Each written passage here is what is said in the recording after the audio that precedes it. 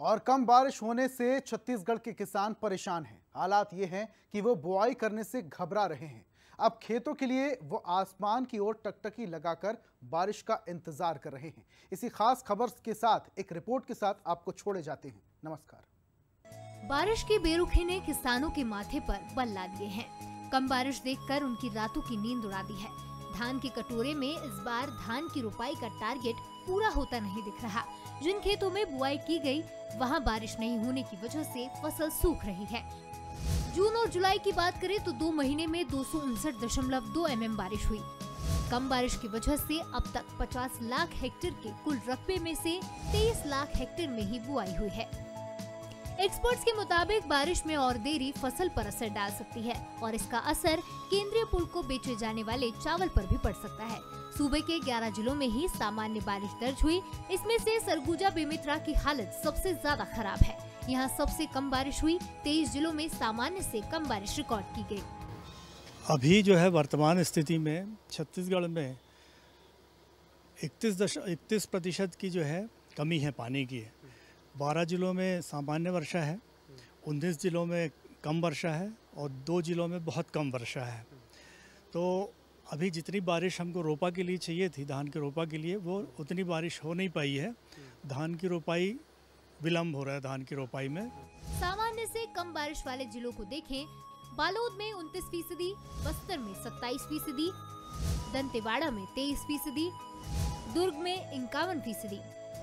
धमतरी में 35 फ़ीसदी, गरियाबंद में 37 फ़ीसदी, जशपुर में 48 फ़ीसदी, कांकेर में 46 फ़ीसदी, खैरागढ़ छुई खदान में 20 फ़ीसदी कोंडा गाँव में 40 फ़ीसदी, कोरिया में 32 फ़ीसदी, महासमुंद में 36 प्रतिशत मनेन्द्रगढ़ में 47 प्रतिशत, मोहला मानपुर चौकी में 32 प्रतिशत, रायपुर में 35 प्रतिशत राजनांदगांव में 50 प्रतिशत तो सख्ते में 31 प्रतिशत, वही सारंगढ़, भिलाईगढ़ बयालीस प्रतिशत और सूरजपुर में 44 प्रतिशत कम बारिश दर्ज की गई है।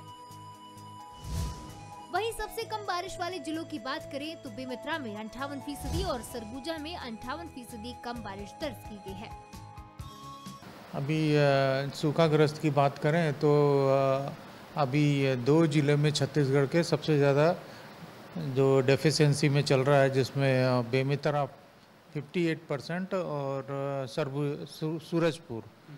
सूरजपुर भी जो है 58 परसेंट की डेफिशिएंसी में चल रही है।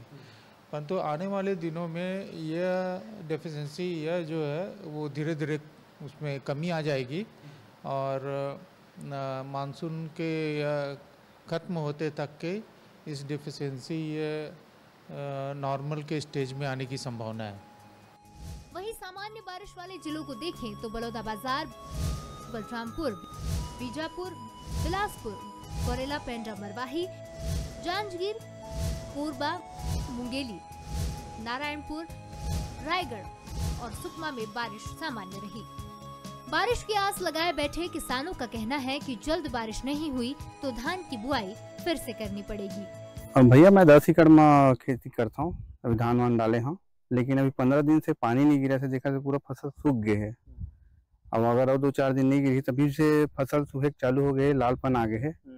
और बोर वाले मन तो करे थे लेकिन पानी की व्यवस्था नहीं है। तो पूरा सूखा थे। अरे बहुत खराब स्थिति भैया पानी वानी बारिश वारिश नहीं हुआ है धान सूख रहा है। और चार एकड़ में खेती किए हैं। बारिश का इंतज़ार है हो नहीं रहा है पंद्रह दिन हो गया है। और सूख रहा है पूरा फ़सल। आठ दस दिन अगर और नहीं गिरेगा तो पूरा पीलापन आ गया वो धान मुरझा रहा है पूरा। आने वाले दिनों में अच्छी बारिश के संकेत मिले हैं। उम्मीद है कि इससे भरपाई हो जाएगी और परेशान किसानों की फ़िक्र भी खत्म हो जाएगी। ब्यूरो रिपोर्ट के साथ टिकेश वर्मा बंसल न्यूज़ रायपुर।